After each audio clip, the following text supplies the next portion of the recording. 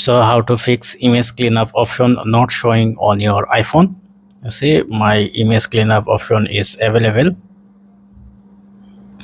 But if you go the other phone then if i press on this three dotted line then you can see no image cleanup option available. So how to fix it?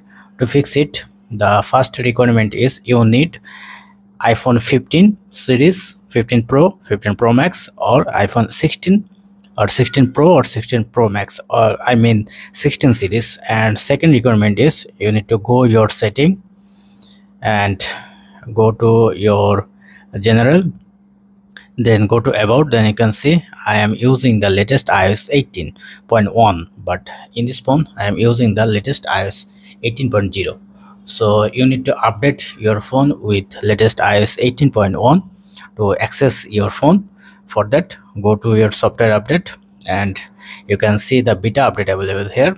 Just press on uh, turn turn on your beta version on your iphone by using your apple id once you log in apple id then you can see the beta version available here. Just update your phone with latest ios 18.1 then you can access your cleanup option then press on this three dotted line.